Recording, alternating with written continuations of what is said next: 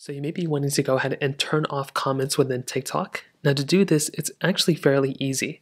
Now you can do this even after you already posted a TikTok.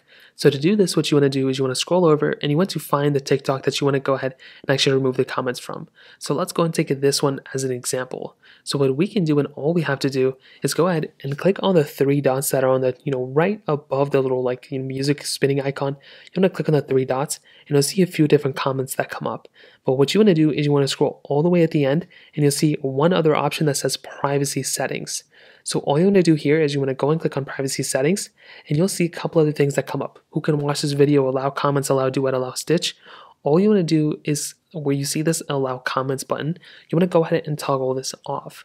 Now what's going to happen is you'll see immediately the comments will go to zero. If I go ahead and open this up, it says the creator turned off comments.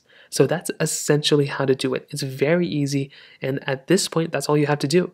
Now, for some reason you want to go ahead and add comments back in or you don't want them to be removed or anything, you can do the exact same thing. So go back, click on the three dots right there, scroll all the way to the end, click privacy settings right there, and you want to click allow comments, and this will pretty much bring the comments back. So now you can see I still have zero comments, but it doesn't say, oh, this person didn't allow comments. It just says comments will appear, you know, as they come in. So that's essentially how to do it. It's very easy and it doesn't take too much time. If you have any other thoughts or questions, please let me know in the comment section below. Hit the like button, that would mean so much, but definitely hit that subscribe button. More importantly than everything else, I love every single one of you guys. Hopefully I'll catch you guys in the next video.